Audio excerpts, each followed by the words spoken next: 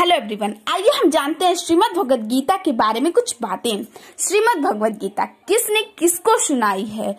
श्रीमद् भगवद गीता श्री कृष्ण ने अर्जुन को सुनाई। कब सुनाई? आज से संतावन सौ साल पहले सुनाई। भगवान ने किस दिन गीता सुनाई? रविवार के दिन।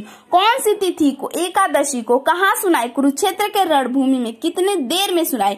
लगभग 45 मिनट में कितने अध्याय हैं? कुल 18 अध्याय हैं।